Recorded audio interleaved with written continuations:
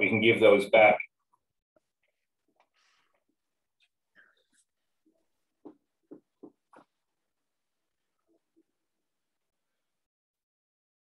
So we need to give those back to them. Is that the idea? Yeah, they'll be giving us a different key. Okay. We're going to get a key to the main building, okay. assuming we go ahead with our current plan.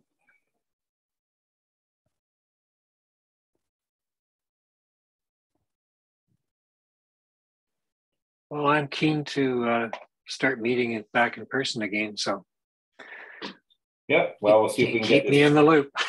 Yeah, we'll see if we can get this tech stuff to work. And what do you Yeah, think guess- about the two monitor idea? Think we can make that work? Yeah, All Yeah, we can do is try. Yeah, I've, I've noticed that a lot of the stuff I just signed up for a course up at UVic and it's in person. So they're, Yeah. They're starting to veer away from the online. well, the goal was pretty much for this winter session to be um, in person, and it hasn't entirely been, but most of it has been. Mhm. Yeah. So, Yeah, I think from here on in, it's just basically um, making sure people's anxieties are uh, recognized and providing alternatives and Yeah. move forward as best we can. Yeah, I think if we can continue to provide the Zoom option, that would be great. So, I mean, there, there, there's reasons other than the pandemic for Zoom. So Yeah. we need, to we need to recognize that, right? oh yeah, well, there's quite a few members who don't live that close by, and it's. Uh, and with the price of fuel, I don't know if people really want to drive around as much. So, Right. Well, that's another issue. People have formed different habits in the last two years and uh, Yeah. pulling them away from those back to going to meetings and running around madly at 7 p.m. like everyone does in our city. Uh, Yeah. That's uh, yet to be seen how much of that comes back. yeah, no, I think it's. Uh, I think we'll see some differences, so it's good.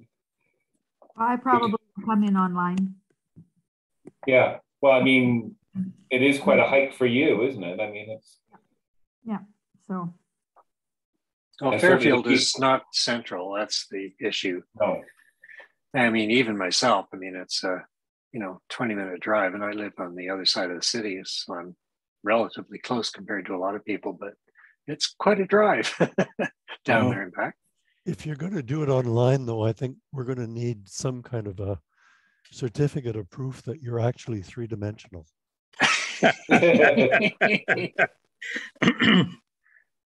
How's that going to work?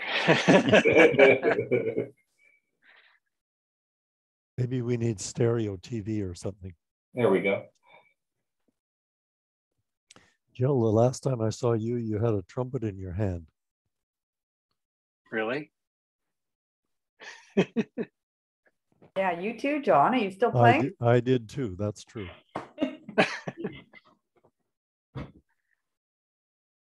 We'll have a music night some night. Yeah. We'll just give it another moment or two. I see quite a few people signing in. Um, just while we're um, getting ready as well. So um, so far for speakers tonight, and I'm just looking around to make sure everybody's here. I've got Marjie and Jeff and John and Nathan, uh, David Lee, Lauri, and Dave. We've got some Edmonton photos. Does anybody else have anything, or if I missed anybody?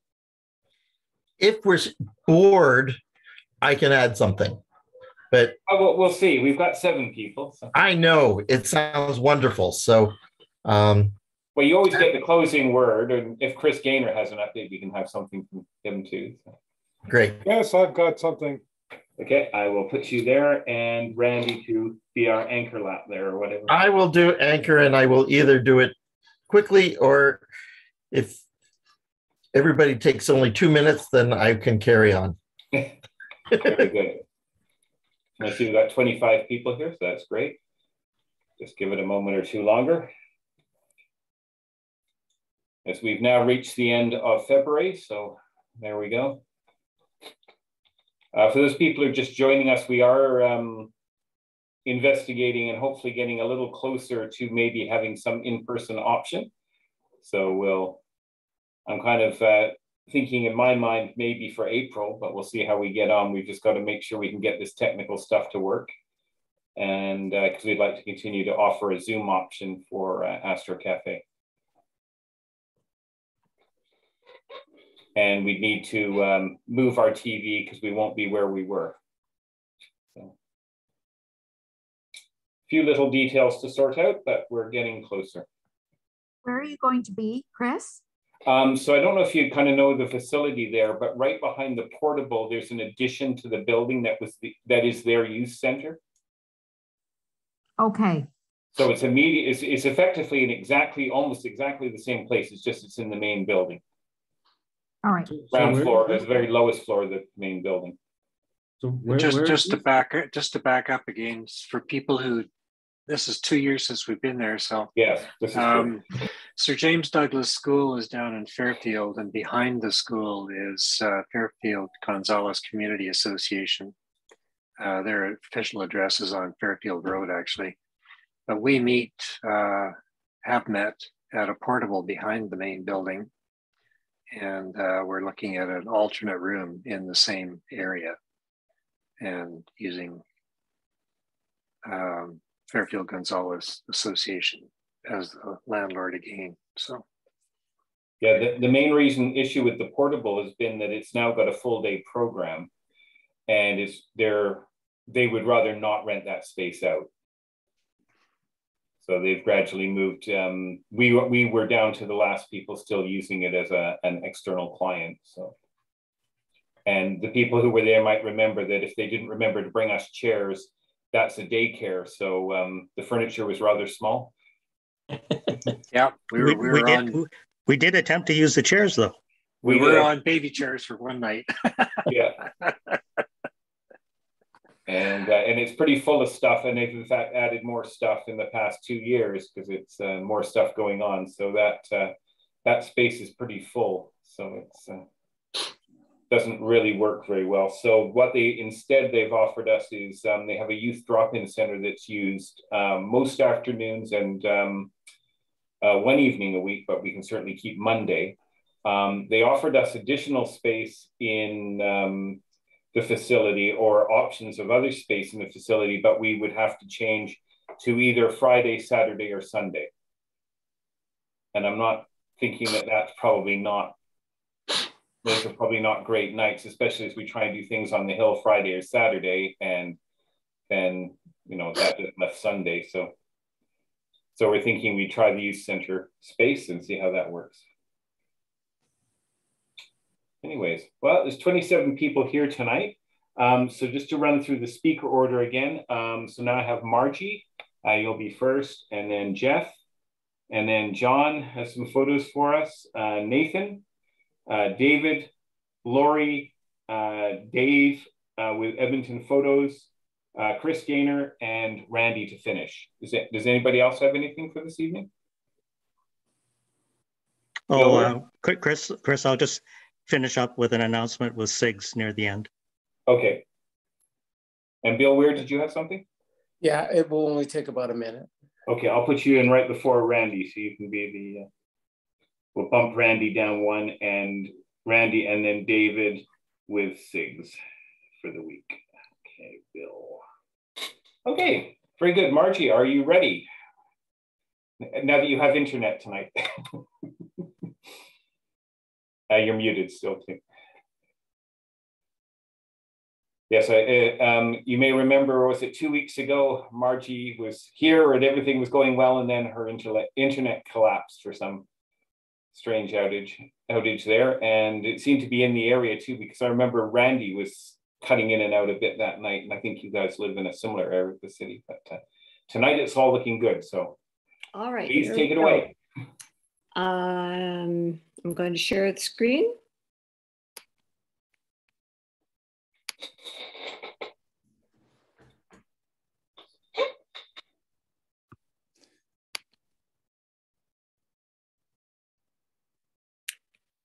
And then I move participants away.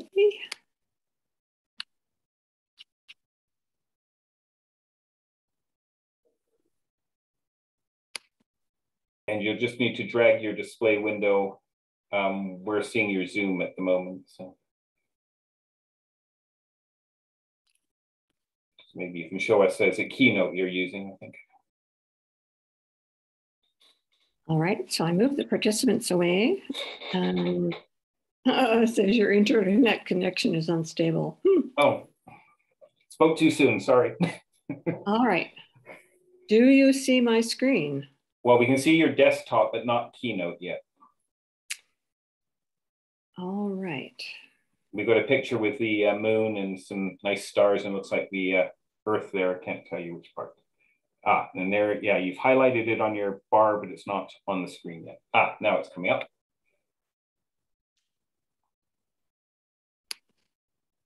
Seems to take a moment, doesn't it? There it is. Yeah, now we've got it. All right, that's good. There we go. All right. Uh, the person I am uh, speaking about tonight is Lisa Dang. She is a PhD student. She is 28 years old, which just blows me away. She is of Vietnamese heritage, and she is a PhD student in physics at McGill. Marjie, we lost. Oh, there it's coming back. Okay, I was going to say it vanished. Oh no, it's back. It's back again. It's back. Yeah, thanks. That's good. All right. Vanished again. And it vanished. Uh, yeah, I don't know what happened there, but it vanished again. It keeps. Oh, Or yeah, it keeps minimizing, so it keeps going back to the uh, bar there. oh gracious. I'm not sure why. But I wonder if I changed places.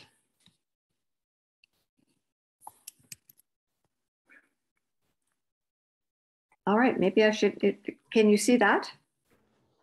Uh, we're still looking at the background at the moment, so we can't see the slide. We can't see keynote. All right, how about I just?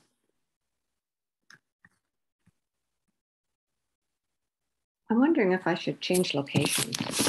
Let's just see if that makes any difference.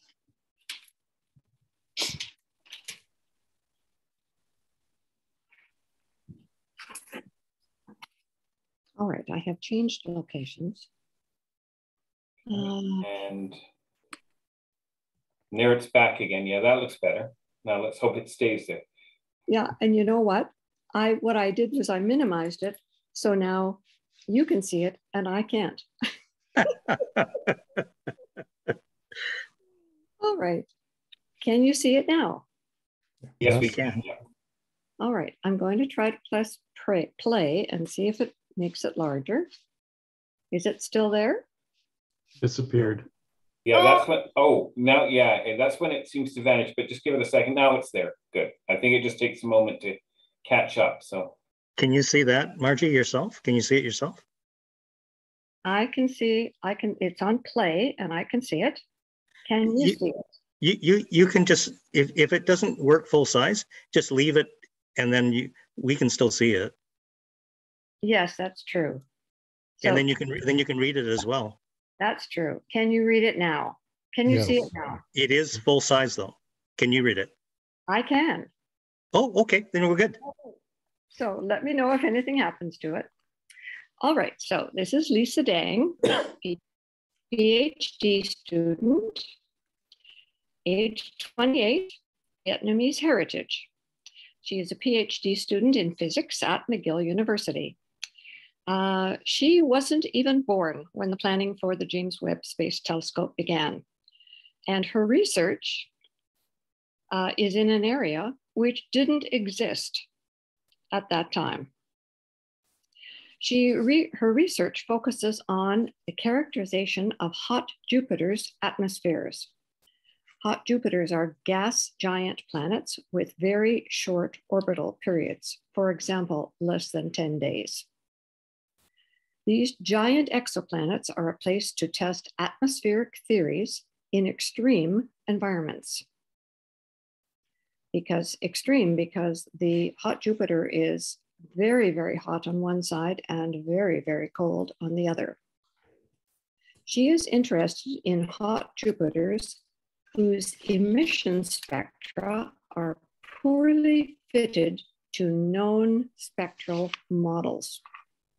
She will be amongst the first principal investigators to use the James Webb Space Telescope. Uh, 1,200 telescope time proposals from 44 countries were submitted to NASA in November 2020 to receive access to the James Webb Space Telescope in its first year of operation. Of those 1,200 proposals, 286 were chosen as part of the GO program, the General Observation Program. This is for this is for the for the first year. And of those 286, only 10 of those have Canadians as principal investigators. Lisa will map the atmosphere and the surface of hot Jupiter lava planet K2-141b, which closely orbits its star.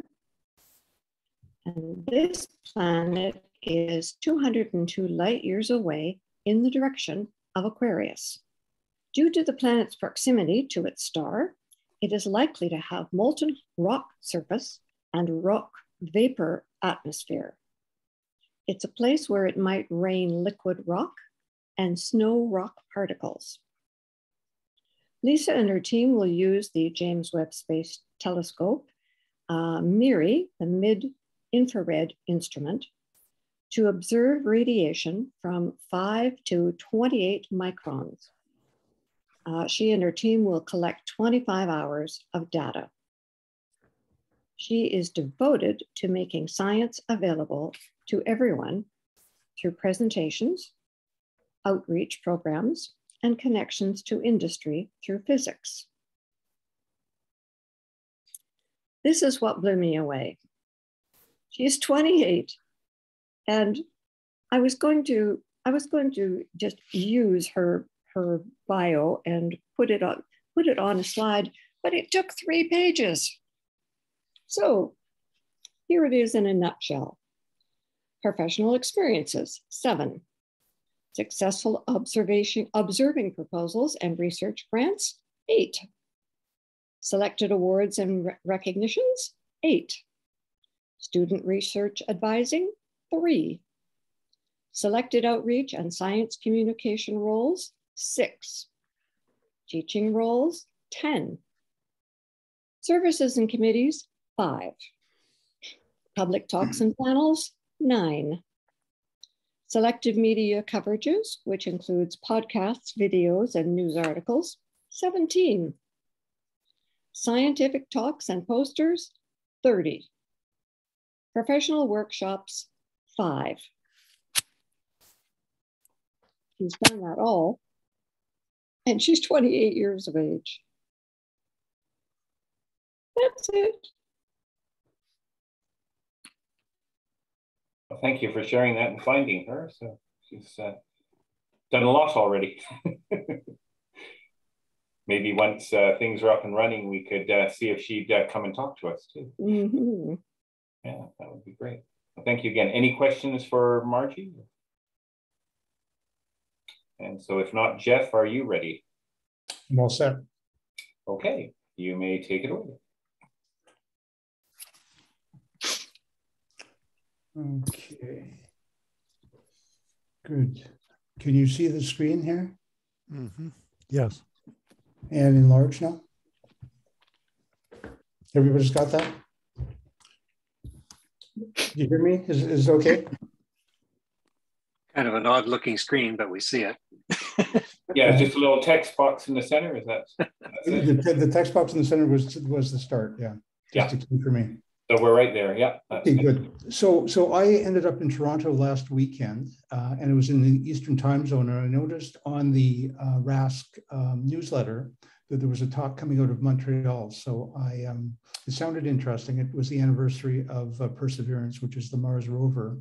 So I um, um, participated in that. Um, um, it was a public presentation. Uh, and it was interesting enough that I thought the group here would be interested in some of the highlights of the uh, the anniversary of the Perseverance rover.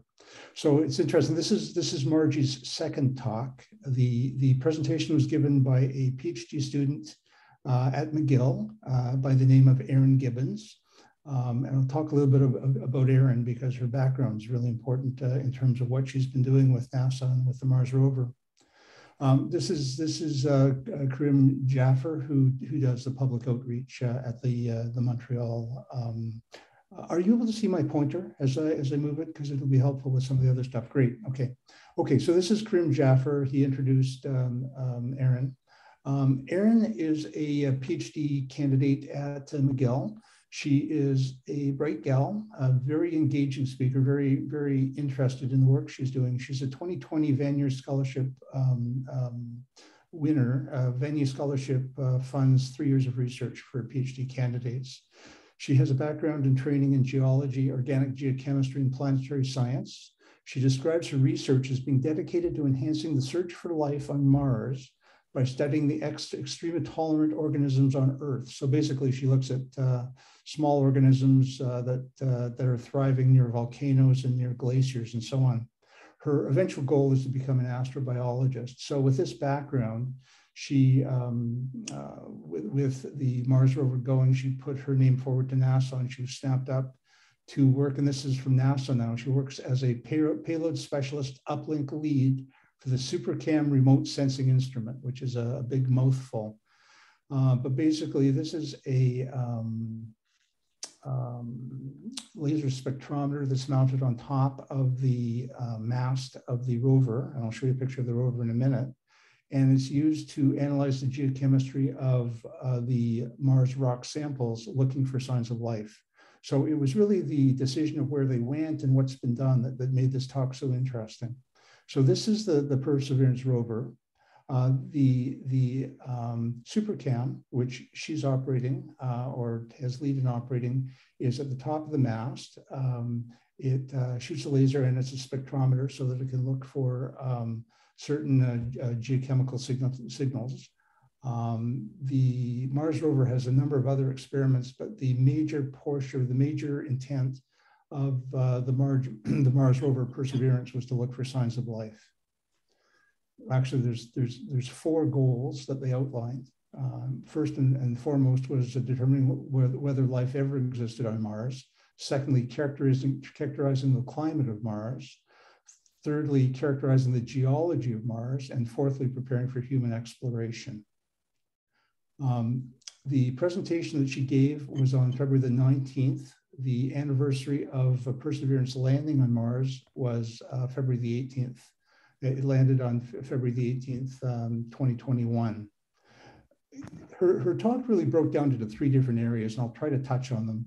Firstly, and, and importantly and, and, interestingly, the evidence that led to this Mars mission, why search for life uh, at this time on Mars, and why this location. Um, there are some mission findings to date, and uh, she just touched on the, the, proposed future of this, this mission. Um, so the slides that, that I have are from the presentation. I do have assurance that they're all for public, they're all in the public domain. So there's, there's no issues with, uh, with showing and, and uh, sharing it. So the Mars rover quickly breaks down into these the SuperCam on top and the Mastcam, which is basically for visualizing direction. Uh, the, the, rover is, is because of the distance uh, to Mars, which is about a four minute radio delay.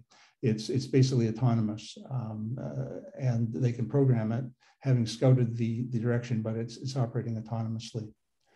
Um, so other experiments are on the arm. Uh, that includes SHERLOC, which we'll touch on uh, and the, the drills and the components to get the rock samples.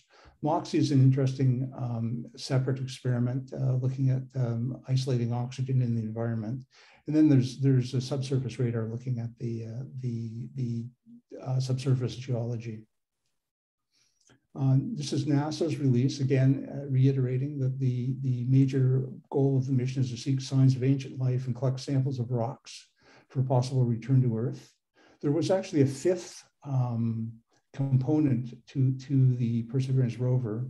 And you're probably aware of the, the Mars helicopter or the autonomous drone that flew. It was actually scheduled to, to do five proof of concept missions, and certainly succeeded wildly in that.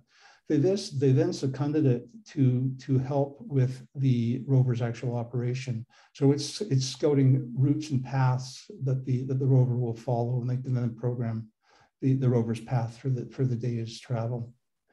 Um, this this is ingenuity, and as I say, it it uh, succeeded succeeded wildly, and um, and they're using that now.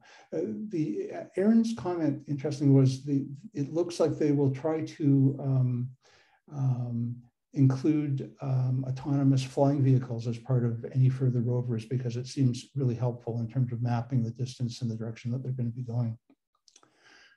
So to date, there's been a bunch of other rovers uh, on Mars. Um, there's been exploration in various places of Mars, and there's been no evidence of life uh, identified with any of the rovers. To understand why they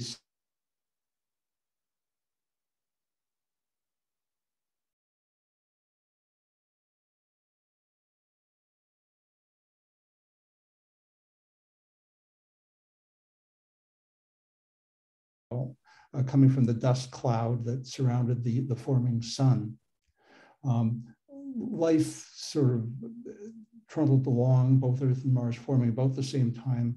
The first traces of life on Earth um, were are, are, identified about three and a half billion years ago, and that time frame becomes really important for the for the things that that they're doing. So three and a half billion years ago, we have evidence on Earth of uh, stromatolites. And stromatolites are the fossilized remains of very primitive unicellular single cell organisms.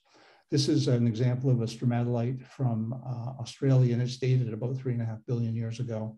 It looks it looks almost like sedimentary rock, but it's it's dirt um, glued together by layers of um, of uh, organic material thought to thought to arise from the from the unicellular organisms. So um, Earth and Mars formed about um, four and a half billion years ago, and about three and a half billion years ago, um, they both started off as warm and wet worlds. And about three and a half billion years ago, something changed, and Mars went a different direction. Mars became hot and dry. Um, there is there is various debate about that, but the, the leading theory now is that because of its smaller size, Mars wasn't able to maintain the magnetic field. With loss of magnetic field, solar radiation swept away the, the um, um, atmosphere. And with the loss of atmosphere, any of the uh, water there froze and then sublimated away.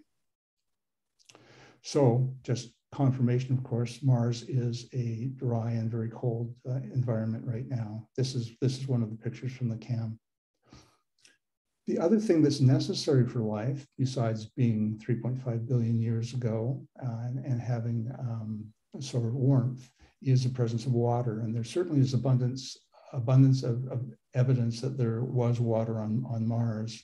Um, if you compare uh, pictures of Mars and Earth um, uh, pictures, um, you certainly see evidence of ancient rivers similar to earth rivers, and you see evidence of tributaries flowing into major rivers as you do on earth. So after about five years of debate, the, the um, rover team decided to land Perseverance at the west side of the Jezero crater. The Jezero crater is an old crater dating about 3.5 billion years ago. So around the time that Mars lost its its um, uh, its environment. Actually, four billion years ago, I see from the note here. So, um, just before Mars lost its lost its environment, and the other interesting thing about it was there's presence on the west side of water flow into the crater. And when they looked closer at the crater, it looked there was evidence that the crater had actually been full of water, which spilled over the eastern edge. So it looked to be a, a crater where there, there had been water. More than that, when they looked more carefully at the western edge of it, there was looked there was what looked to be a delta forming just where the the ancient river flowed into the the crater. Um, we know from Earth that deltas form where fast moving rivers enter more still and larger bodies of water. So think Mississippi Delta or Nile Delta. Um, so th there was a delta-like formation. The other thing for biologists is that deltas are places where any organic material in the river system carried down will deposit because when the when the river flow slows down, the material in the in the river that's been carried by the river precipitates out. So looking for fossils is uh, delta areas is a good bet. The the um, crater itself is about uh, about 45 to 50 kilometers in diameter. Perseverance put down where they where they wanted it to, about two kilometers from the edge of the of the delta. When they got there, they really needed to confirm that their impression from satellites was actually true. And this was a delta. So they looked back with the camera and certainly saw what looked to be delta-like structure. And then the, when they zoomed in, they were more convinced that this was delta-like structure. It had the same um, characteristics of deltas that we have on Earth. There's a slightly sloping top, there's a sloping middle with some debris, with some debris fields from precipitation. And then there's, there's a bottom with, with debris field as well. They then turned to look at the surface where they'd landed and scraped away some of the dust and using the arm, um, looked at the rock underneath the, the surface layer of dust. And they, they saw um, sort of crystalline intrusion in the rock and this type of formation is often found in igneous rock, a rock from, from volcanic origin. Um, when they looked closer with the, with the SuperCam, they used the laser spectrometer, they actually found traces of minerals, olivine and pyroxene, which uh, Erin tells us uh, is characteristic also of igneous rock that slow that has cooled slowly. So it looks like the floor of the, floor of the crater was uh, volcanic in origin. The um, other instrument on the arm called SHERLOC was specifically designed to look for traces of carbon uh, in the rock sample. Um, it did find it. Uh, what it can't differentiate is whether the carbon that it, it identified was organic um, or inorganic. Uh, carbon for life on Earth, of course, is, is essential. So it's there, it's a puzzle. They'll take samples and uh, look to see what the nature of the carbon is at some point in the future. So this is in fact the drill that they used on the arm. It um, the the the um, um, well, it, it drills in, into the rocks and uh, collects the samples and and then deposits them in the rover. Uh, this was their first test of concept. They obviously uh, verified that they were drilling in. And when they look down at the sample that was taken, they do have a rock sample. These are packaged uh, in the rover and they're, they're, uh, they're stored for future collection. The, the other experiment that they ran was MOXIE, which was that little bit on the bottom of the rover. MOXIE is, is a, um, a setup to try to abstract oxygen from the Martian uh, carbon dioxide environment. Uh, it was successful. Basically, it heats the carbon dioxide to uh, 800 degrees, breaking down the molecular structure and liberating the oxygen. They collected a significant amount of oxygen as, is, uh, as a proof of concept to just see if it could be done. So they're trundling along. They can travel, um, well, the, the, the, rover actually travels up to 100 meters an hour, but they're certainly not uh, trying to gun it at anything like that uh, with the, the rough surface and the, the autonomous nature of the, um, of the rover. Uh, they want to make sure accidents don't happen, but they've done up to three, 300 meters in a day. Um, the landing site was here, as I said, it's it's a uh, couple couple kilometers from the the delta. They are taking a circuitous route to get to the to the delta, um, and that's really because the intervening structure here is thought to be sand uh, sand dune, and uh, they they don't want to risk um, um getting it stuck in, in, sand. So they'll be following a, a, a longer but more rocky route to get to the base of the delta, where which is where they really want to start doing the rock samples to see if they can determine uh, if they can if they can determine any presence of um, uh, ancient uh, fossilized life. Um, the um, current current present the current uh, location of the rover as of the 18th of the the one year anniversary was where the where the star is. Uh, they expect to, to arrive at the Delta sometime this spring. Um, proposal for collecting the samples. Uh, certainly the Perseverance rover will have the samples uh, on board at some point uh, in the next decade. They, they anticipate uh, landing a fetch rover, which will collect those samples, take it to a small rocket, which will which will take it back to Mars orbit and then be sent uh, back to Earth. So that's a quick summary of her presentation. It was an excellent presentation. Anything that uh, wasn't clear in my presentation was because of me, not because of uh, because of Erin.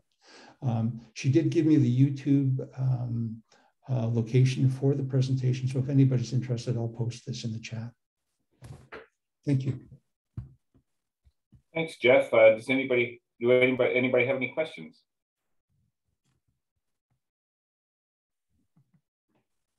So again, maybe a potential speaker for the future, but yes, go ahead. Uh, so the crater was volcanic and is obviously um, older than the river that that fed into it.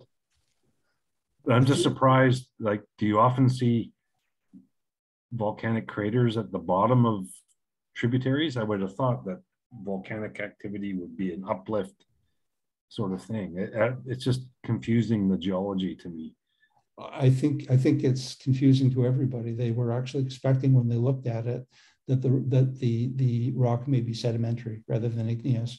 Um, it's interesting you say that because they they felt that that the warm wet uh, early billion years probably had to do with multiple impacts. So whether that warmth you know led to a molten core and whether there was volcanic activity which which then was flattened by the impact of a crater is is you know an interesting an interesting thought like uh, and, and, you know your your perplexed um, your perplexity about it is i think shared by everybody there. And i think that's what they're looking for in terms of you know what's coming. But I, I agree i agree with you. I mean it looks very much like um, you know igneous rock which is flattened and then water flowed into it. So you know at some point quite an active uh, environment sometimes uh, with impact craters, what they'll do is they'll actually fracture the crust uh, enough that uh, the um, uh, molten rock from underneath in the mantle uh, will flow up uh, into the area, so that whether there's a um, there could either be um, a source of molten rock, which would look like the igneous rock generated from the heat of impact, or sometimes it flows up through the, um, the fractures that are generated by the impact structure you know, it's interesting you say that because it reminds me that that Erin did did mention that they wondered whether the the lake before it was filled with water was actually a lava lake, and that would certainly uh, go along with what you said. Is there any was there any mention of the fact that Earth experienced the uh, what was it, Theia, the moon, the um, asteroid that crashed into the Earth at its early formation, it's been hypothesized that that broke up the first crust. And then the crust that's been studied that we know was the second crust and not as radioactive as radioactive as the first one would have been, which would have enabled life perhaps to start sooner on Earth than one might have expected if we hadn't been perhaps lucky enough to acquire the moon and the the early start with a less radioactive um, crust. Is there any mention of that? There wasn't. I mean, it's it's a, it's a really interesting thought and and and um, um, direction, but no, Erin didn't mention any of that. Yeah, yeah. Thank you, thank you. Jeff, I was curious about uh, some of the experiments and the fact that they found olivine, because what I've understood is olivine is one of the minerals they think they could use for accelerating the degradation of the Earth's global warming. It they can use it to to pull CO2 out because it when it's on a surface it degrades fast as opposed to being in the molten center. So and then you mentioned that they uh, they were trying to manufacture oxygen. Uh, was there any discussion about like the intent to maybe try to create a new atmosphere there or something, or do you know why they were looking at oxygen? And yeah, I think I think well, the way Erin talked about the the MOXIE experiment um, was was to fulfill one of the roles, which is looking for human exploration. So it, it looked like it was a proof of concept to see if oxygen could actually be packaged from the environment. And obviously packaging it from CO2 is a heck of a lot easier than thinking you have to transport oxygen from Earth, you know, for, for, for consumption for, for a settlement there for a period of years. Yeah, but but no, there was no mention of, of the the specific, and, and in fact, you know, really just touched on the, the, the presence of the of the two minerals, um, you know, characteristic of, of igneous rock. Thank you. So again, um, you know, I will post, I will post, post the YouTube. Uh, her her talk went for a little bit more than an hour. Um, if you go to the YouTube channel, her talk starts at about 10 minutes into the uh, into the YouTube recording. Well, thank you very much for sharing that with us, Jeff. That sounds uh, it was very interesting and something to follow up on. Um, John, are you? Yeah. Okay. Available? I'll just share my screen.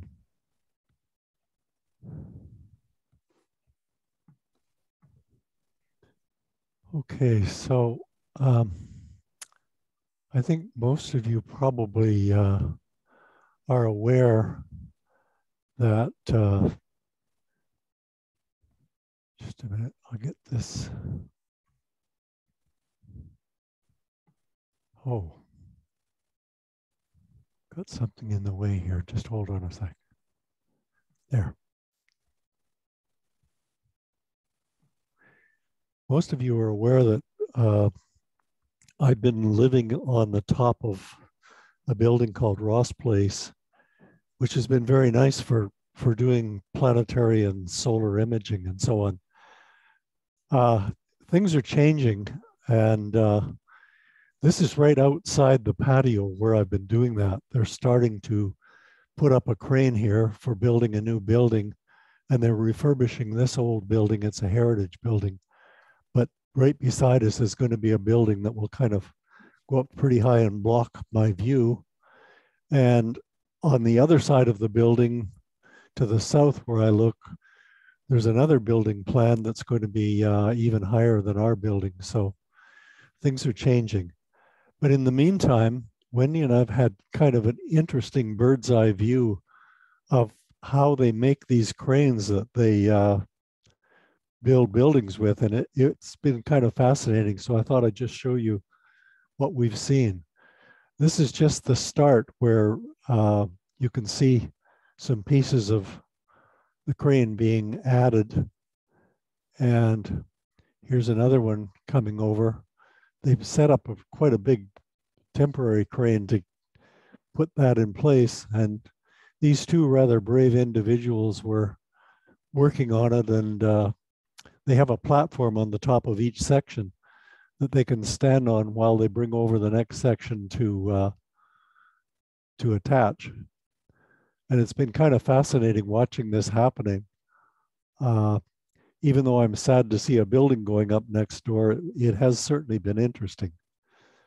This is where they're putting up the very top piece that ends up holding the uh, the parts of the crane that stick out to the side. And you can see them just maneuvering it into place here. And then after they got it in, the, one of those uh, riggers went up to the very top to undo the crane so that it could stay in place. Uh, they picked a nice quiet day to do this. Thank goodness there was no, sometimes the wind up here is pretty strong, but they did pick a nice day. Here's the cab going up. And here are the two pieces that will stick out from the side. This is the one that has the counterweight on it. And this is the long boom that has the crane on it. And the first thing they picked up was this one. That's this picture. And I thought when they lifted it, why did they lift it up from a point where it was hanging at an angle? And if you watch the next pictures, you'll see why they did that. They did it so that they could get these uh, stringers together, which they wouldn't have been able to do when it's down in its uh, lowered position. So they got those attached and then the crane lowered things down and and those ended up holding it. It's kind of neat to watch. And then they lifted this thing up, and this was more than neat to watch. This was actually quite scary, and I'll show you why in a moment. They got it up quite high like this. Then they started to swing it around and it came right over top of the patio where I have my telescopes, literally over top. so that's what it ended up being. And that's when it was totally finished the next day. And this shows you another reason why it's uh, not going to be very nice to do astronomy up here anymore. This is just a twilight view, but this light is far brighter than the moon and much closer. So uh, the light pollution has suddenly gone way up in this place. So as a result of that, uh, I won't be I won't be using that anymore. Uh, whoops. Let's go this way. I'll be going up to the VCO.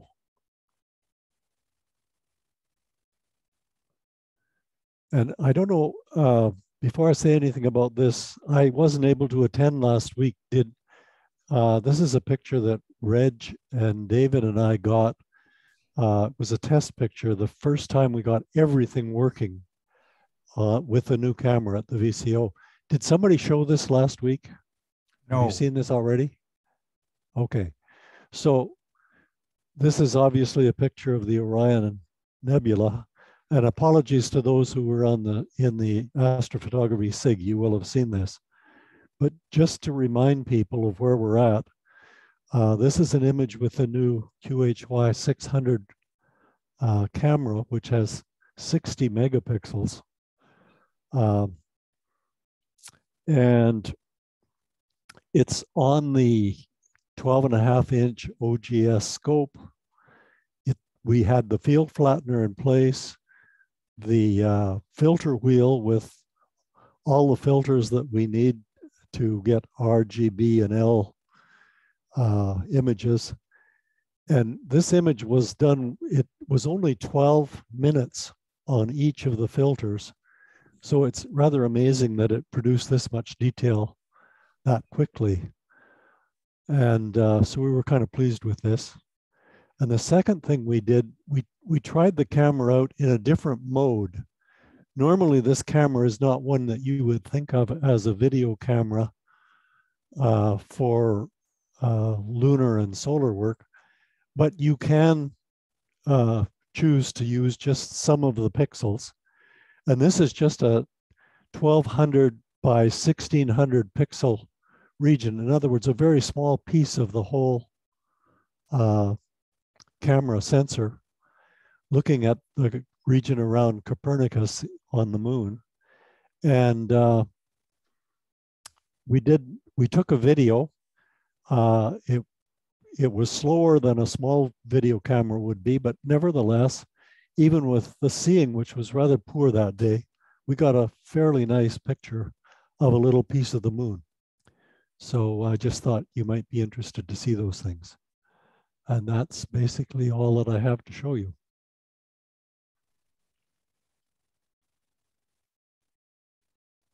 Thank you, John. Okay, Fascinating to see that um, construction of a crane. You know, you see kind of bits of it going together sometimes if you're lucky, but you got to watch the whole thing. yeah, we had a bird's eye view.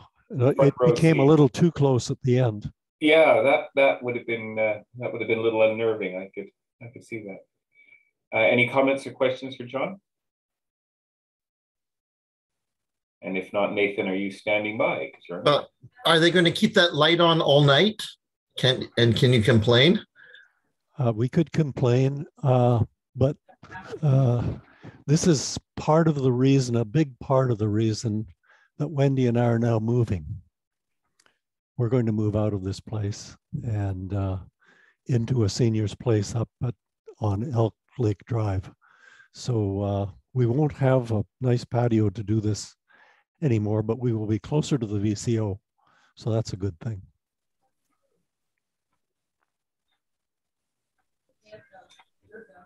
Well, thank you again. So Nathan. Hello. Hello. Hello. Are you ready? I am ready. Carry on, please. Okay, so um, first of all, I'd like to thank uh, Lauri, if she's on or if she's not as well, for getting me in touch with uh, Kareem Jafar because um, we recently collaborated with the Denver Astronomical Society to create a um, another astronomical organization that will hopefully um, increase the amount of youth interested in astronomy and gain uh, many more youth members for RASC and other organizations too. Um, so our organization is called the Cosmic Generation. And uh, basically our goal as an organization is to uh, share the awesomeness of the universe with aspiring young astronomers around the world.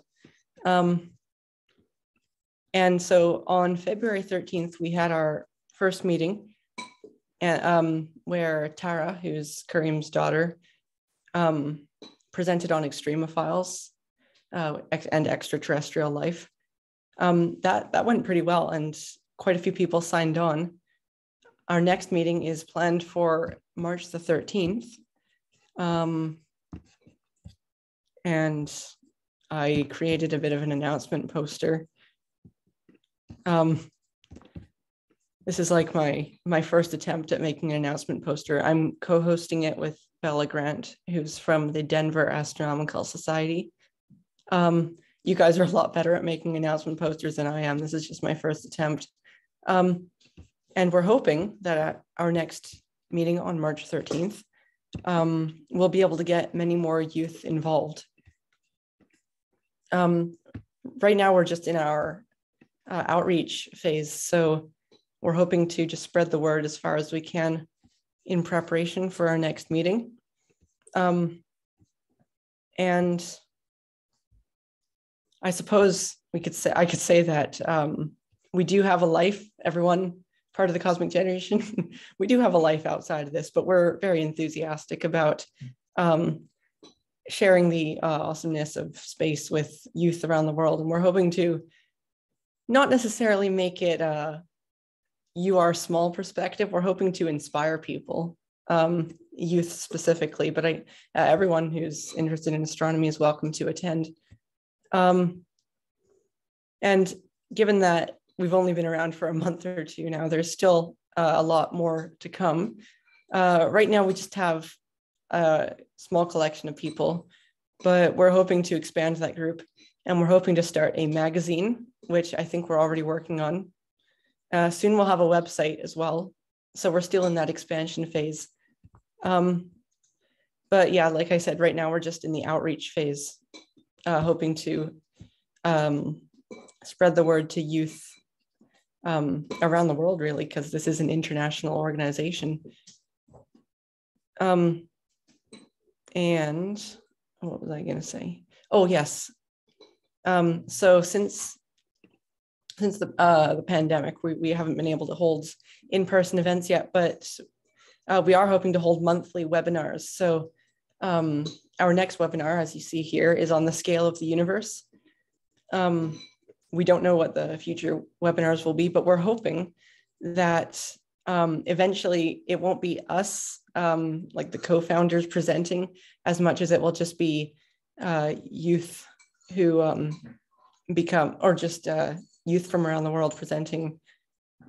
Um, and we're we're hoping that this will be less of a um, lecture uh, style in the future and will be more of a opportunity for anyone to present on uh, any or any youth to present on projects they've been working on. Same with the magazine. Uh, the magazine will be powered by submissions from youth around the world. Um, so yes, our goal as an organization, the Cosmic Generation, is to inspire the next generation of youth astronomers. Um, and that should be uh, beneficial in bringing in the next generation of rascals too, I should say. Hey, Nathan, excuse me, Nathan. Yes. I um, I went to.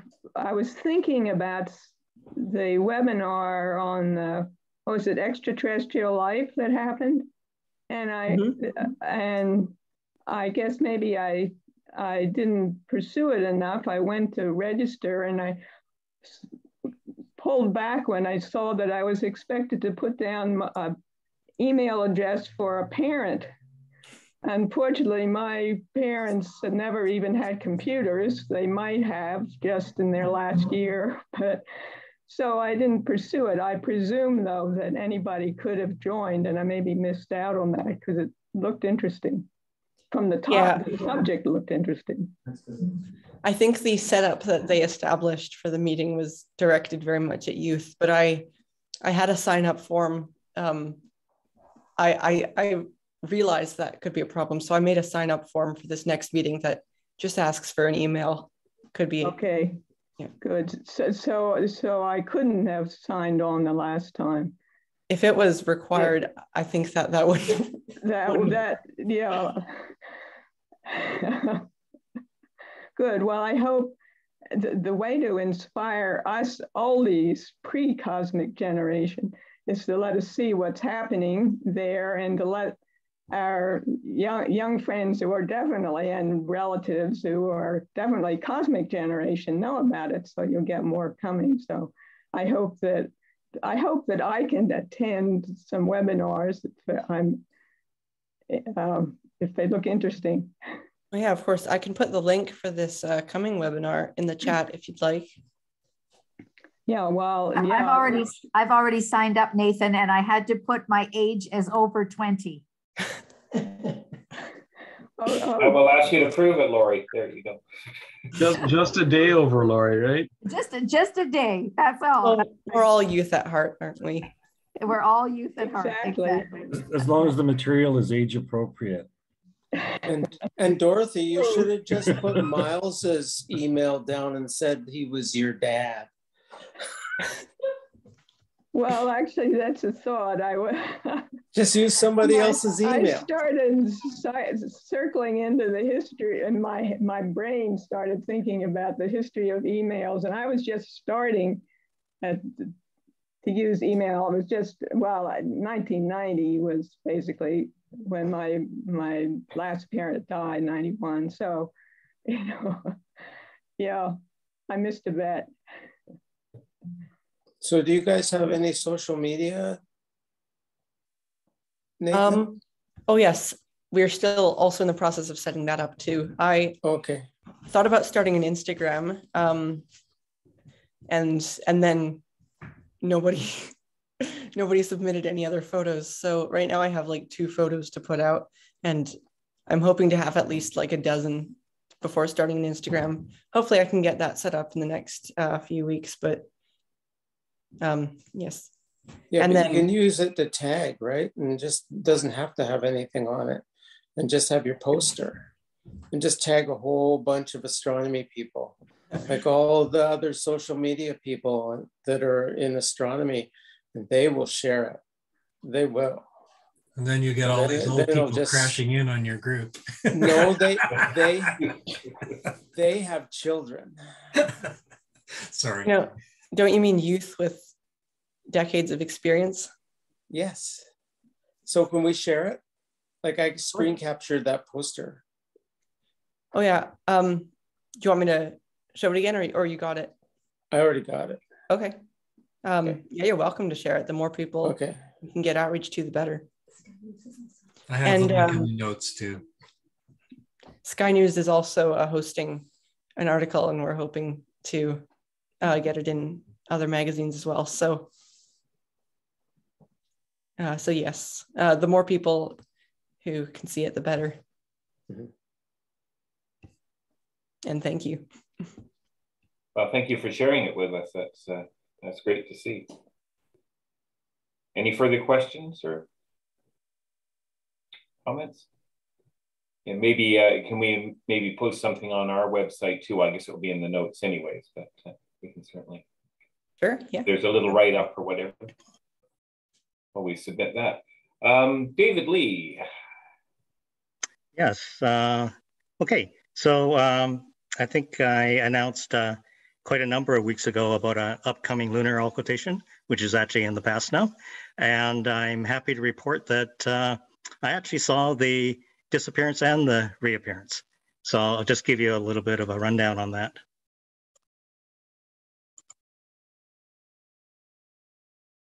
Can you see my screen?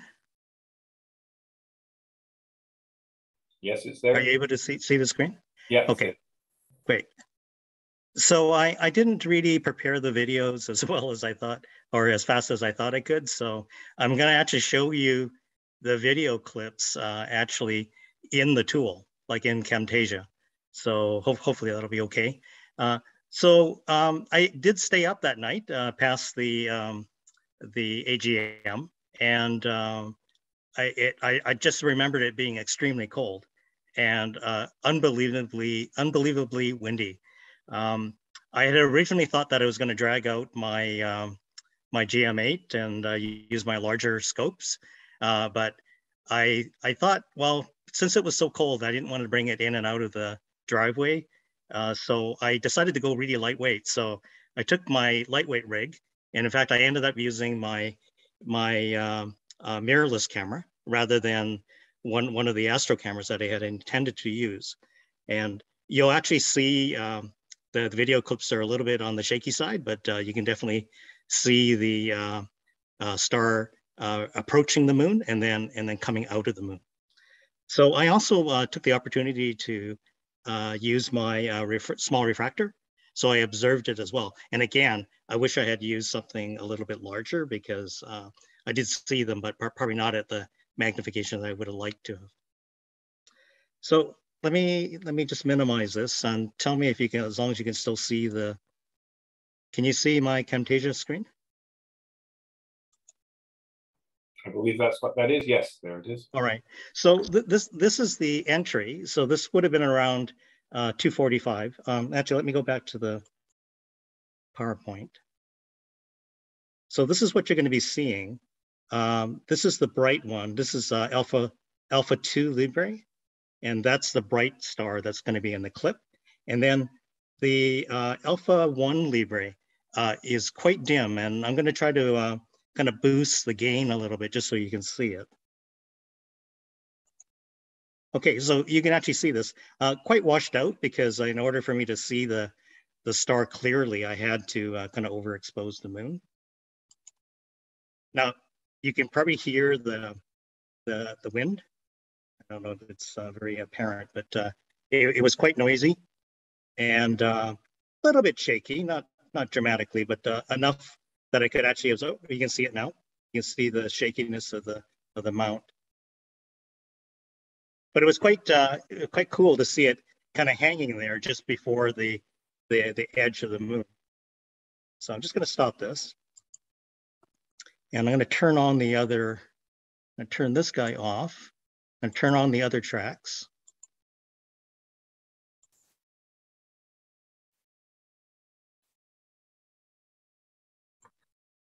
So this, this is the reappearance. And I took I took the audio out because uh, actually let me just uh, so you see there's a bit of a timestamp here. Now I've blown this out a little bit just so you can see see the star better. But this is a time 352, 34. So in approximately 10 seconds after I start this, uh, look up in this corner here and you should be able to see the star kind of blinking, blinking into place. So it comes pretty soon. Did you see it? So that's the first blink of it. And there you go. There you see it right there.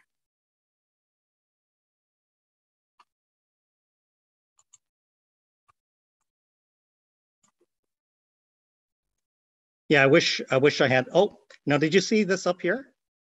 That's Alpha One Librae. This is Alpha Two. So you see the other other one kind of blinking in and out.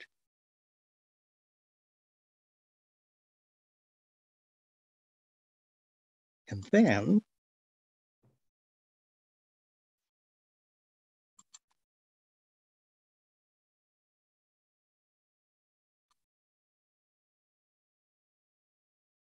So this is about six minutes after, and I, I wanted to show you this because this is what the moon looked like um, uh, without it all blown out. So there's, there's actually this beautiful arc here. at the time when I was looking looking through. The Terminator is just beautiful that night. And uh, there's Alpha Librae 2.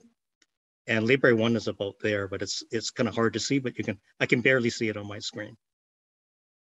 Okay, so uh, are there any questions? And actually, I'd love to hear uh, some of the other um, the other observations that people may have made. Well, it was kind of fun. There was about three of us emailing each other as it was happening. Uh, was it Sid and Nathan? Um, the eye has such an amazing dynamic range because there was no problem seeing the detail on the moon and those two stars without any trouble. And it's it, it's so surprising with the camera that you can only see one of those three things uh, at a time. You you don't you just don't have the dynamic range, and the eye is amazing. Yeah, and the other thing is that you kind of compensate for the fact that it's kind of shaky. The uh, the camera is very unforgiving in that respect, but I'm sure for you, uh, it was okay for a little bit of jostling happening. Yeah. Um, and the blinking was it, it was, it was very clear. I was I was much more blown, um, much more magnification. I was doing 150 times with my six inch. And Nathan, what were you watching it with? Uh, I was watching it with my smaller telescope, the refractor, firstly because I watched it from inside because we conveniently have a uh, window that has no chromatic or visual aberration. Um, and that was the only telescope I could conveniently move around inside the house. so I used that one and it still worked just as well. Cool. I watched it disappear as well. And I, like Nathan, I was inside looking through a window. So it wasn't the greatest view. And I was starting to get close to um, the extent of that I can actually see out that window. And then I was also starting to get into the top of a tree. So the moon was kind of moving as this tree was waving back and forth. And I was thinking, oh, great, I know what's going to happen. I'll end up with the moon right behind the tree at the critical moment. But no, I didn't. I did get to see it vanish. But well, I realized I, I, it wasn't going to be. I wasn't going to be able to see it reappear without going outside. So I decided I was going to chicken out. So I'll tell, you my other comment. I'll, I'll tell you now. Um, it, it, was very, very weird because it was so windy and the, the gusts were so high. Uh, but you know, uh, just before each event, like just before the disappearance and just uh, in the reappearance, the skies just eerily parted for me. So I found that very odd and cre almost creepy. Anyways, Dave, you had a question or a comment. Oh, just the the blinking was due to the poor seeing, right? It That's, is absolutely, yeah. absolutely. The wind and everything. Yeah. Yeah, yeah, absolutely. From my vantage point, there was a when it was vanishing, there was a, quite a bit of haze around the moon. So I don't know if you were kind of lined up with that because that might have been a more localized cloud, but it was yeah, yeah, it was it, it, it, it, was hazy. It was not certain, certainly not perfect conditions. Uh, I wasn't using the equipment that I would have chosen. Uh, so everything was a little bit deprecated, but it was okay. It still worked. And I'm glad I just didn't not do it. I just did did with what I had. So. Yeah. And as I said, I had the advantage of being inside, so I wasn't out in that wind either because it was. Uh, it was, it was very cold. It was brisk out there. Yes, how very. often? How often might we see a magnitude two star? Uh, well, actually, it's not. This particular star, uh, Zubenelgenubi, uh, is actually along the ecliptic. So this occurrence is quite common. I, I think uh, the last time this happened may have been only like a month and a half ago. Well, I highly encourage you to tell us when they come because that was. That well, was you know fun. the other thing, Randy. I think for you, I think my you might be interested in grazes. Now, uh, lunar grazes are quite interesting because basically uh, a, a star will skim the edge of the moon and therefore sort of depict the profile of the lunar limb. Now, that takes a certain exacting location. And of course, I mean, the chances of it being right here are become lower and lower because it has to be right at a particular point. But there's also uh, planetary occultations as well, so they're kind of cool. Uh, Well, Sartre will that, let you that know. I do look for. Like that, we we watched together the Mars one from King George Terrace a couple of years ago. Uh, I hadn't considered. I didn't know that doing a stellar occultation would be so entertaining, but it was. It was, yeah, absolutely. But I think it helped that that is quite a bright star, so certainly finding. It is. It is. Yeah. Yeah. I, I'm not quite. i'm not quite so brave. I I always pick bright stars or bright objects. Well, the conditions were, I would say, less than ideal. So if it had been too much dimmer, as you notice, you couldn't see the one that was, what's the other one, the Mag Five? Uh, yeah. Yeah, in it's that- almost, it, it basically, I, once it got close to the moon, I couldn't see it anymore. Right. The um, background haze was brighter than Mag Five, I would say, or close to. And lunar occultations are listed in the Observer's Handbook, uh, starting on page 165 for those interested. Yeah, that's right. That's right. That's Three true. pages of And- listings there. Yeah, and and also also pay attention to the pay attention to the uh, the URL for IOTA as well, because IOTA shows all the bright occultations and the grazes as well.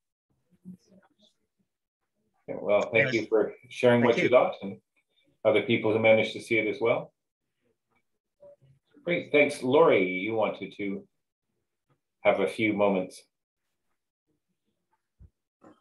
So hi, everybody. I have got um, two things that I want to um, uh, tell you about or ask you, ask you about basically.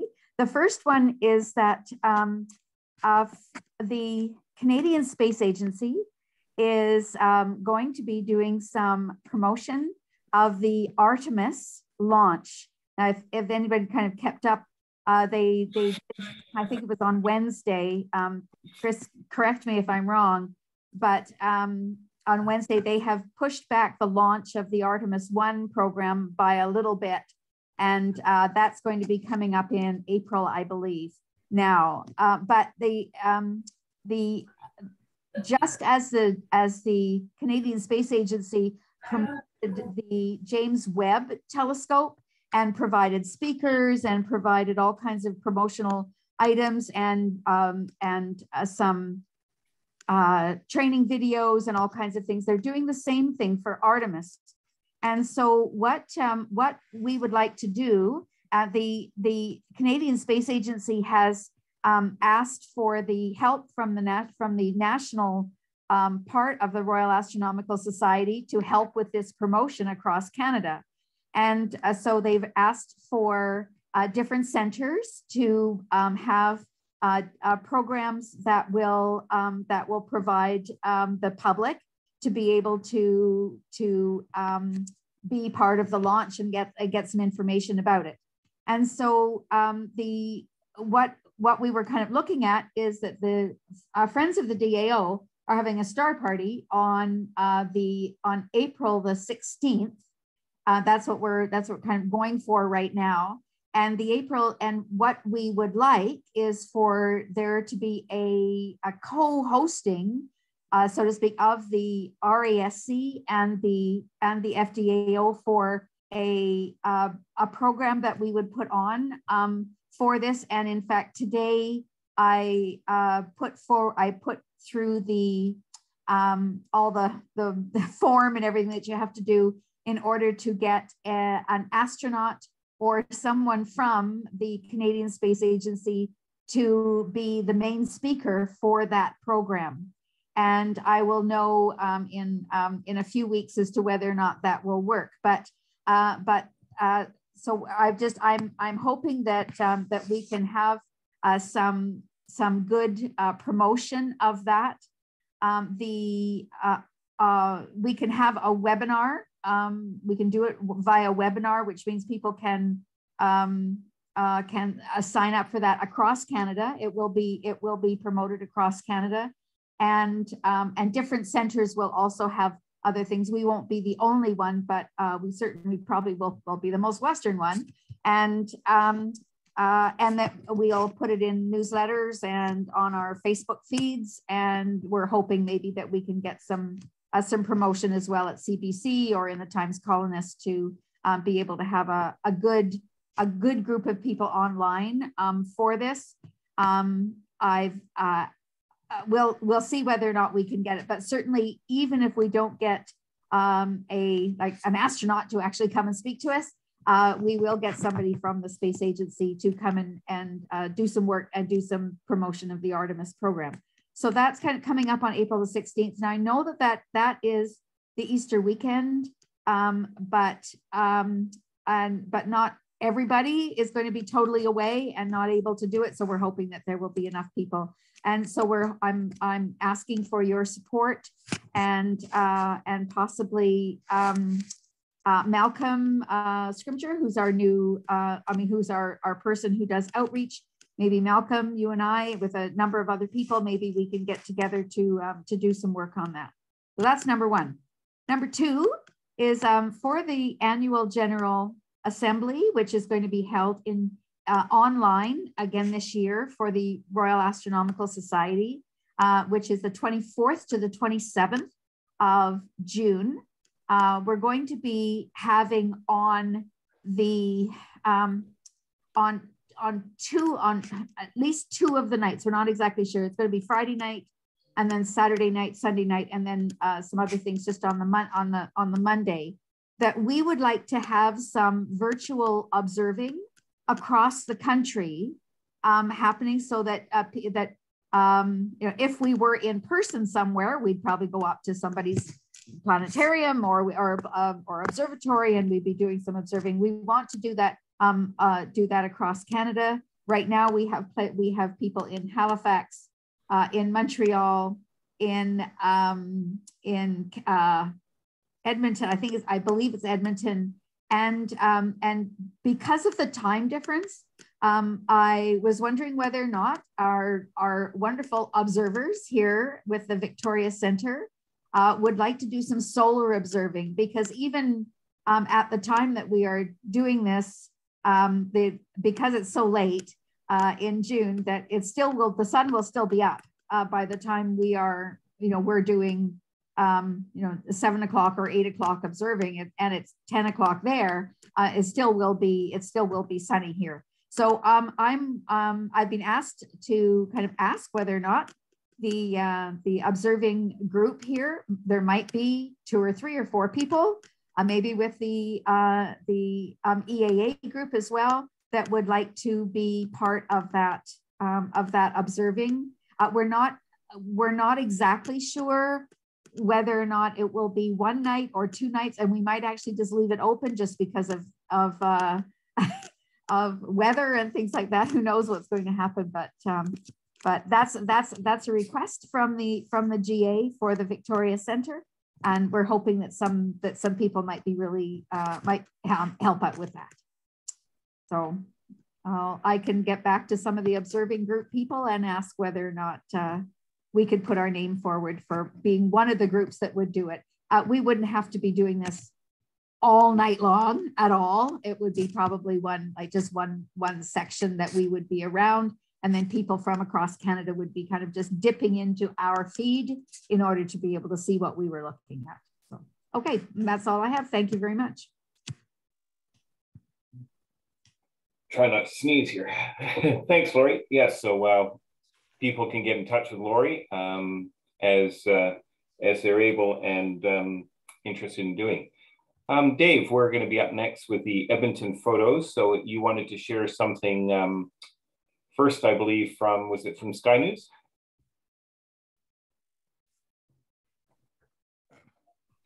Yeah, I, I just would like to draw your attention to, to an article in the latest issue of Sky News.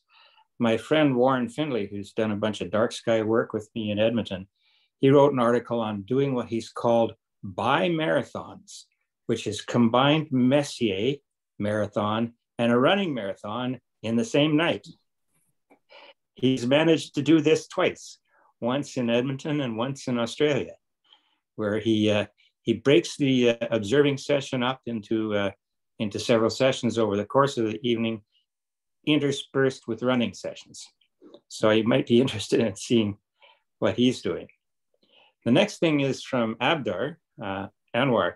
this is his progression still in amazing imaging. Uh, he's moved to Cochrane, which is a little bit west of Calgary.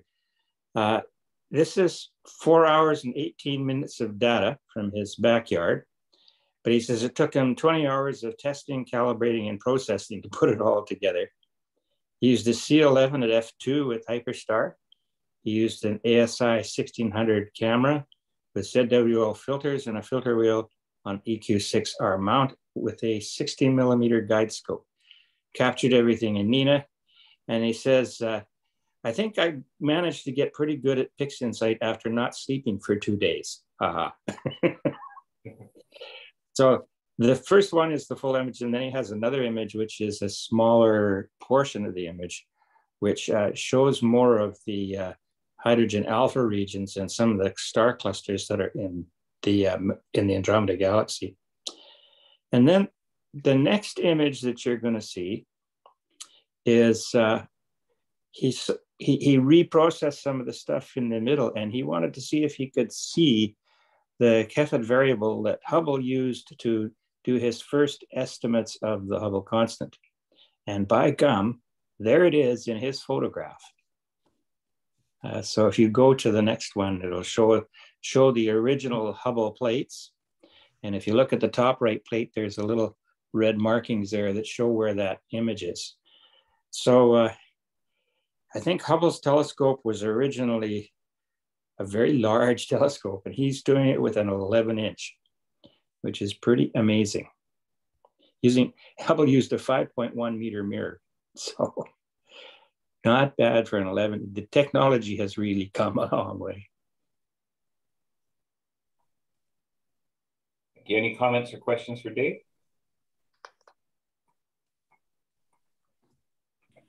Um, okay, so Mike Webb, you sent me something. What was it? was it? is it? Do I have it here?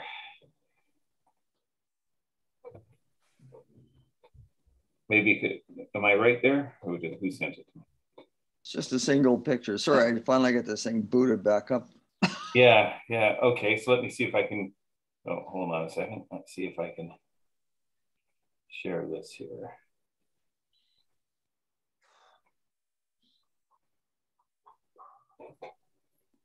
So that was your uh, moon and the occultation?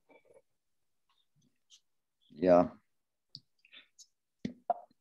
Yeah. It, my, uh, if you look to the right, uh, you can see that dot. And there is another one there on my screen. Yeah, so you got them both. Yeah, there's one. Well, if you look to the left, it's the same moon, right? Yeah. and they're 48. They're 48 seconds apart. And I miss. I'm not sure if it exactly came out right at that time, because I was holding a set of binoculars and I was holding a camera and I. Mike, Mike, could you zoom in so I can have a closer look? Let's see. Yeah.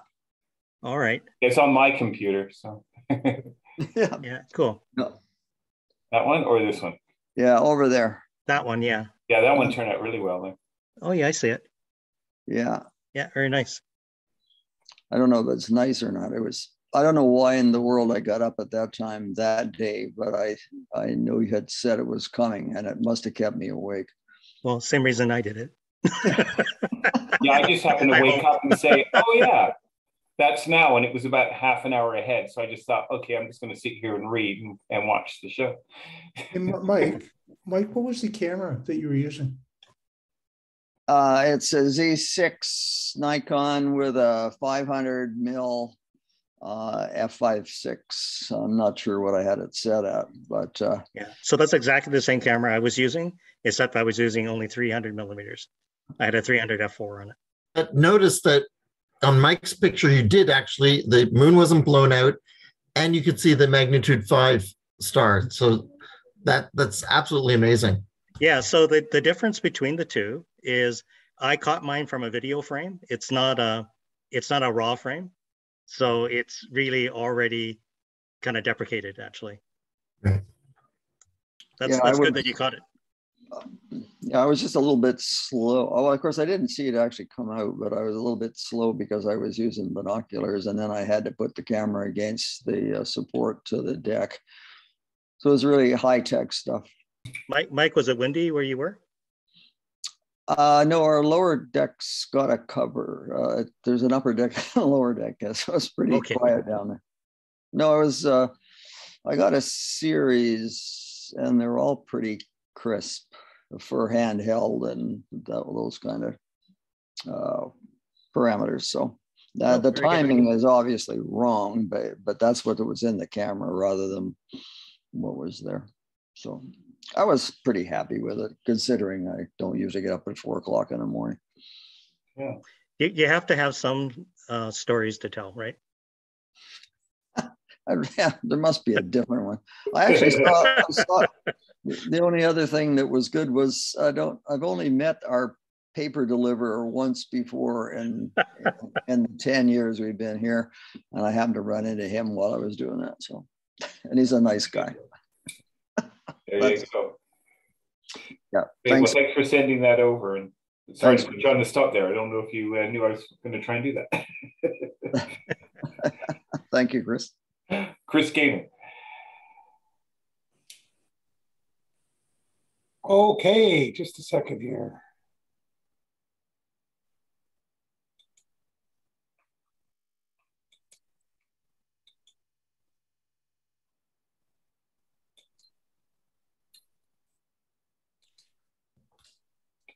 So, what's up with Webb?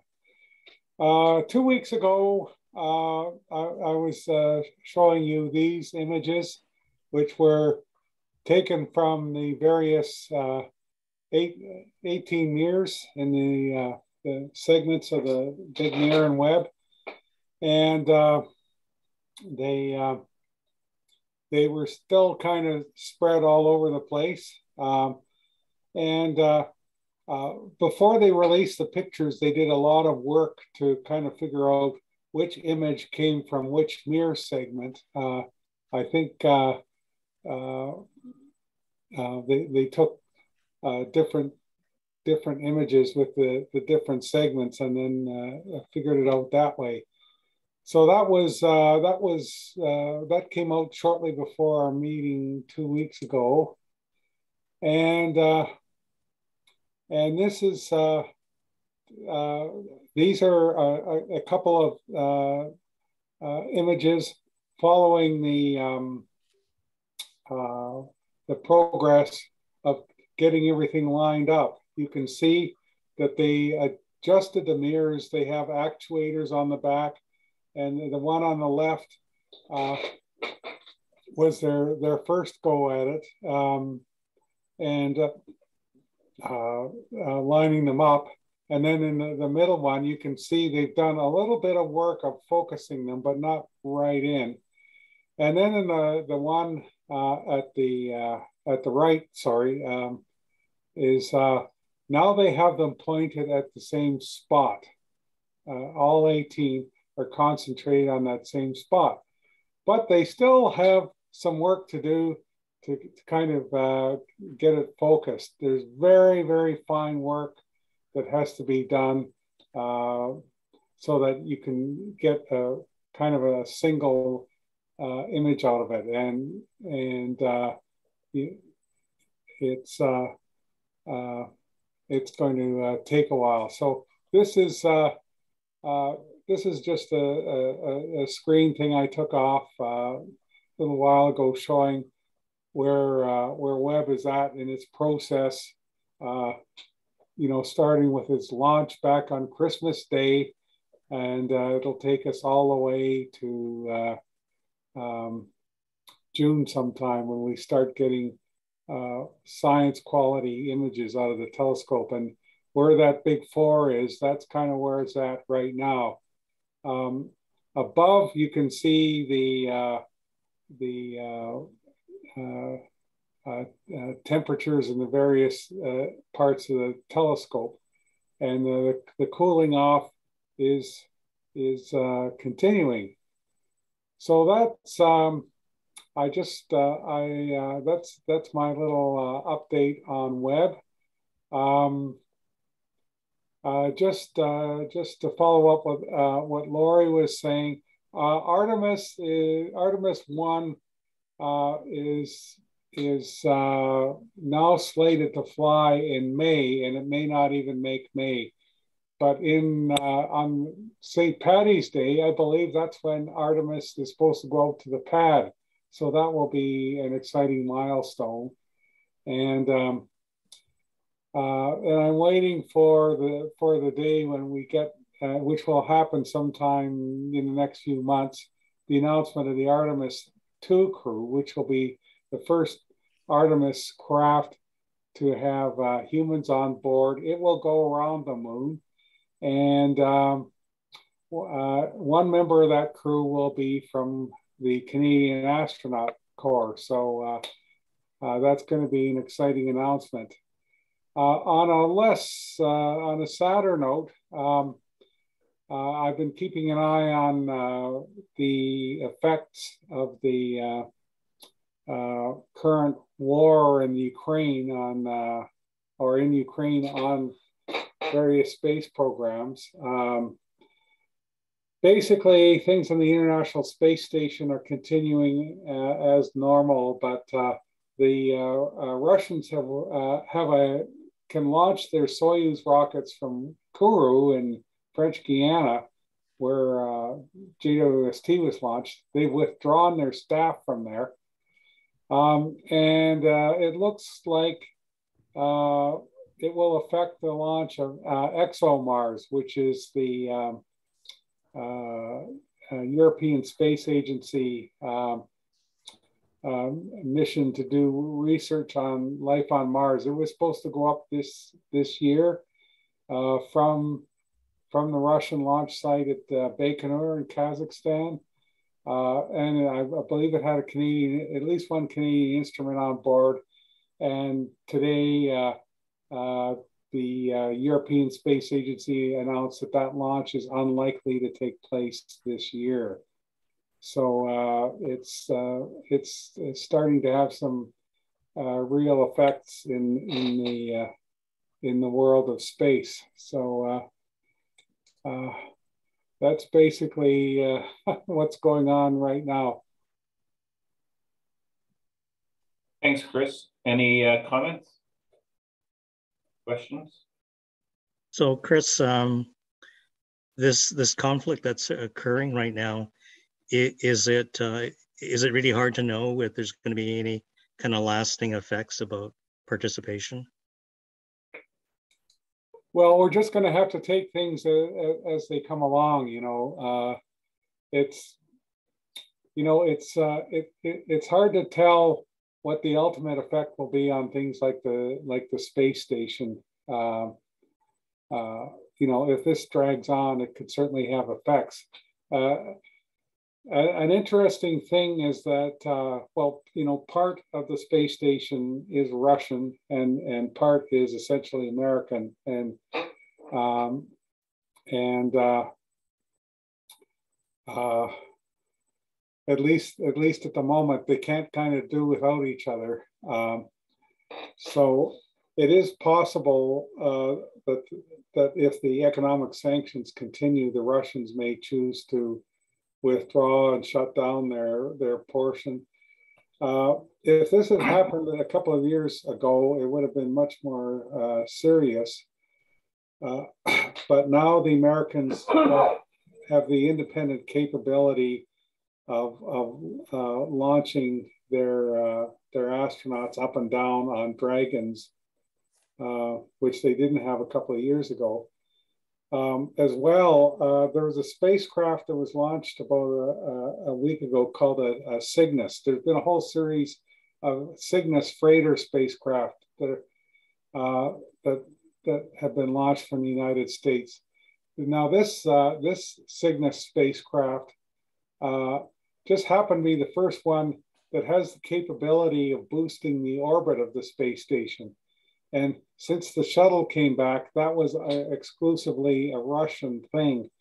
Uh, so, anyway, um, and we'll we'll see we'll see if there there are other effects. You know, there are other joint programs, and uh, uh, ExoMars is the first one. I mean, another thing that happened is there's this gigantic aircraft that the Ukrainians made called uh, Mriya, uh, and it it was used uh, a number of years ago to uh, they put the Buran shuttle on top of it and used it to uh, fly that around. And in recent years, it's become been used for to carry large loads of freight. For example, not that long ago, it brought, uh, I believe, it brought some vaccines or supplies to uh, Canada, something to do with COVID.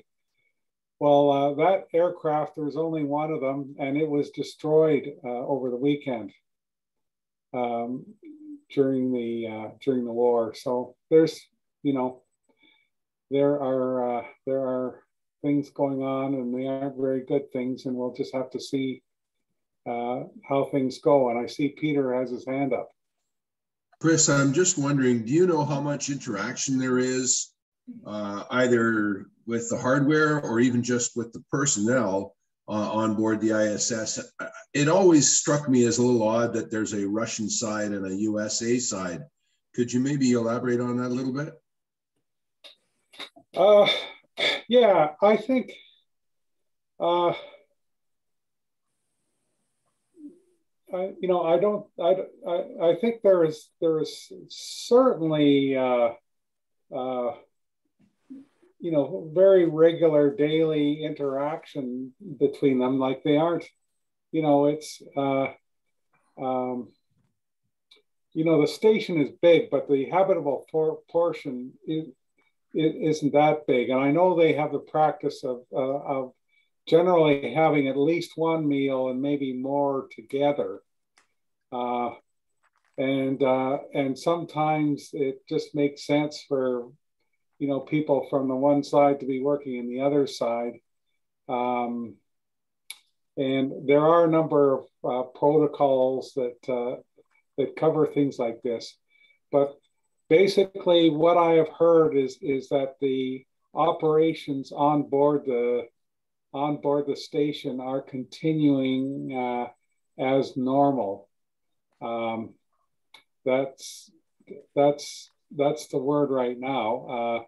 Uh, I I would imagine that uh, you know there's been kind of a build up to this event, and uh, um, you know so I would imagine that uh, uh, people would have had a chance to discuss this.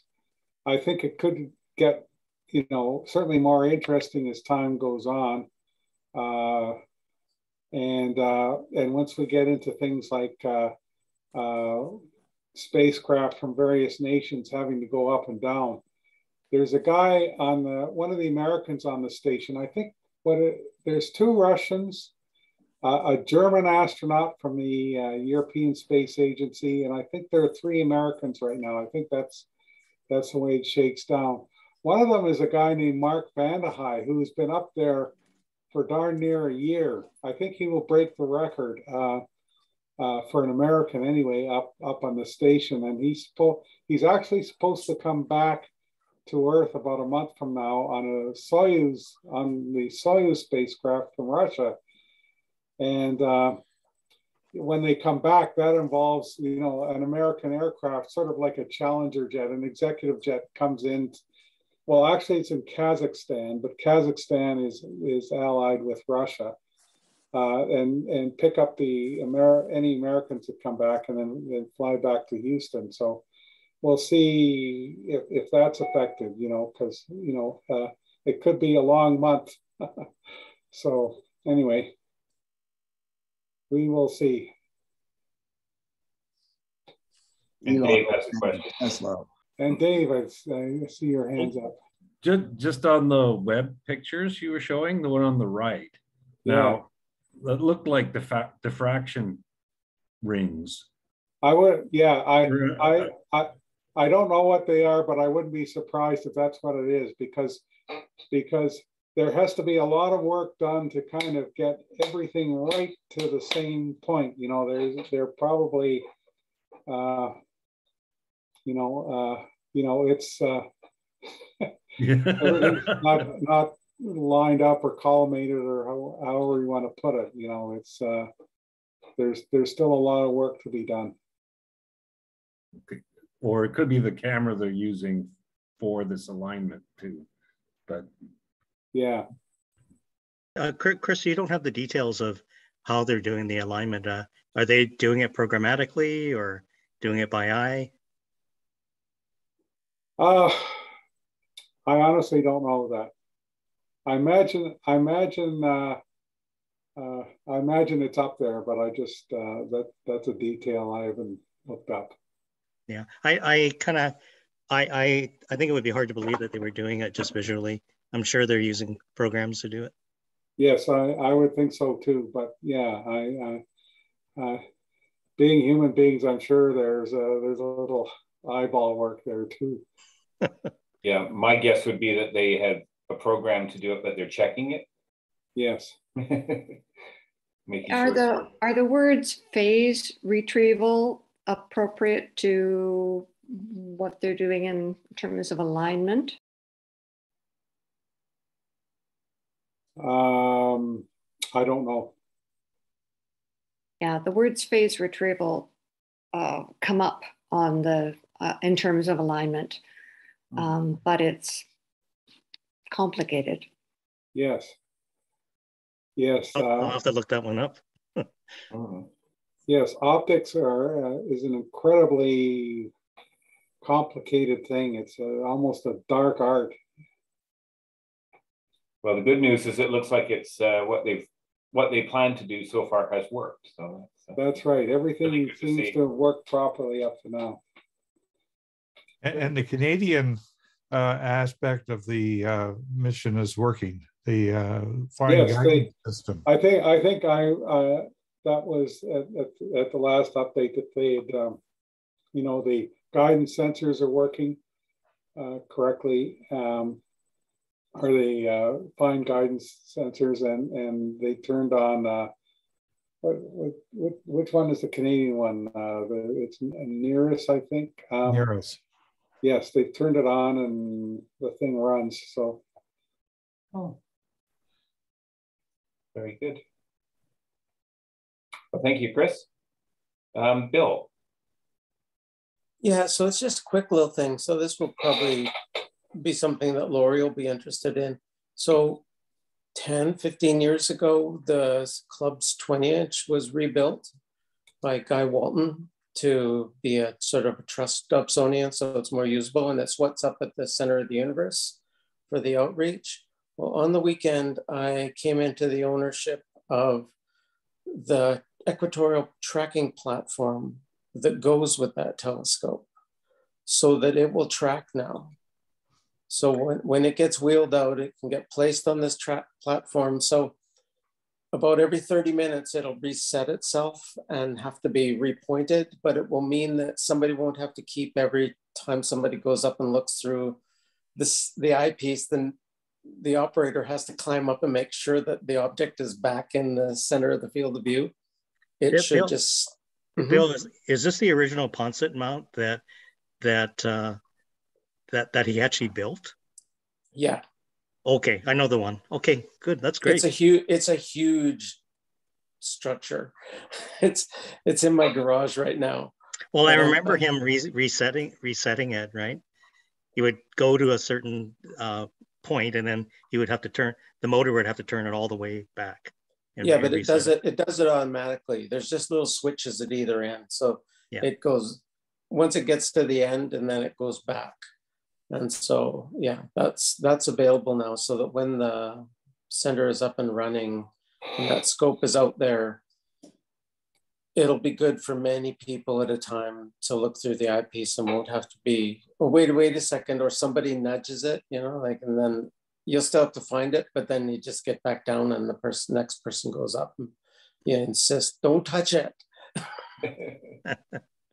so actually, actually with proper rigging, we probably could do EAA with it as well because it's going to track. It will track. Yes. Hmm. That'd be a good experiment yeah. with it.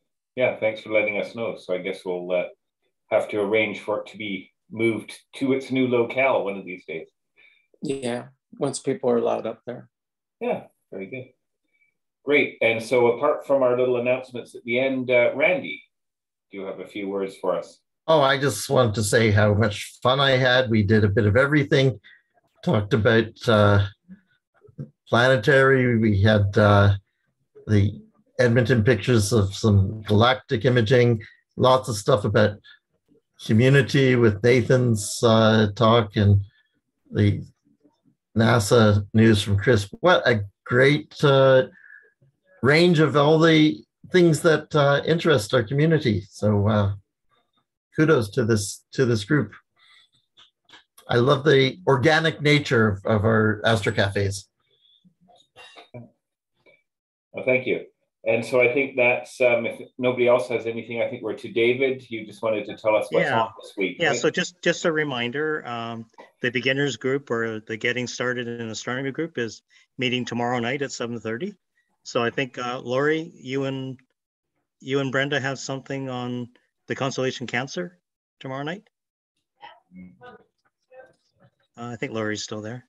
No, anyways. I'm muted. If- if- yeah, Yeah, yeah, Brenda and I are there. Yeah. Oh, okay, excellent, excellent. And then um, on Thursday, uh, we have our EAA group. Now, uh, I've, I've got a- I've got some news. Um, uh, Lauri uh, put me in touch with uh, Karim, and there's a national uh, organization that uh, a national committee that's actually looking into EAA uh, for our transition back to public outreach. So I just wanted to let people know a little bit more about the details of that. So on Thursday night, that's when we're going to talk about that. Great. Maybe you could let this group know kind of what, you know, when, when there's something more to share, I guess. If. Yeah, I, I think I think it's good. Uh, maybe Lauri knows a little bit more uh, history about the Montreal group, but Kareem seems to be a bit of a driving force in terms of Yeah.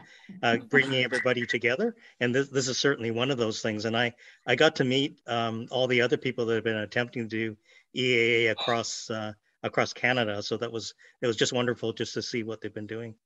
Excellent. Yes, I just wanted to say that that uh, David was one of two people um, who had been asked to provide some information and a little bit of a presentation to get it going. We had about 30 people online um, from everywhere across Canada with all the people doing uh, doing uh, trying to do EAA and thinking about starting up the programs um, uh, for the public. And it was a really good session. And I just wanted to say to thank David um, for um, jumping into that and that he has uh, that he's he David is himself getting to be a little bit more known across Canada for some of the work that uh, that he's doing here. So thanks, David, for doing Well, that. thank you. Yeah. Well, thank you. Uh, I echo uh, Randy's comments. Thank you for everybody who shared this evening. It's been a, an interesting assortment of stuff, and uh, um, we are planning to be back next week. And uh, as as I said at the beginning, as we move closer to um, maybe having some in-person component to this, we'll uh, keep you posted and uh, as things come up. But uh, thank you for joining us this evening. And if there are no further comments, I'll wish everybody well and see you here next week. Thanks, everybody. Yeah, thanks for hosting, Chris.